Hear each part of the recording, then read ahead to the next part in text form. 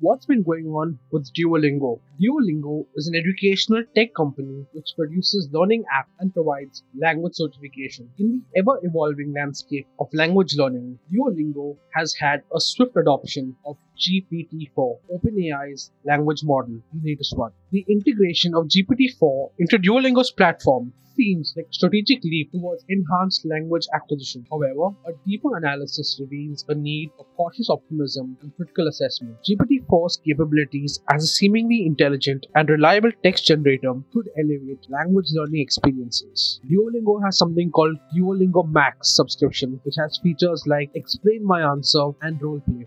Explain My Answer attempts to address the frustration of incorrect responses by providing users with personalized feedback through AI driven interactions with Duo, the app's mascot. While this feature has the potential to enhance user understanding, its effectiveness remains contingent on the AI's accuracy and depth of explanation. The most crucial aspect to scrutinize is whether GPT 4 can consistently provide accurate linguistic insights, especially for complex errors. The roleplay features enables users to engage in simulated conversations with AI chatbots, and also there's an involvement of human experts in crafting these interactions. This could ensure the scenarios are contextually relevant and linguistically accurate. But there's skepticism that arises the potential limitations of AI driven responses in delivering nuanced, culturally sensitive, and contextually appropriate dialogue. The potential risk of perpetuating incorrect language usage, maybe due to AI driven interactions, does warrant a cautious approach, especially when people who don't speak a language don't know what's right or wrong. So Duolingo's aim to strike a balance between